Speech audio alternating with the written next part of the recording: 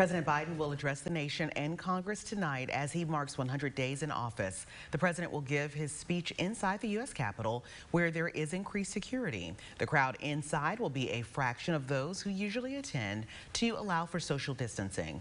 According to White House officials in tonight's address, President Biden will call for free preschool for all three and four year old children as part of his more than $1 trillion American Families Plan.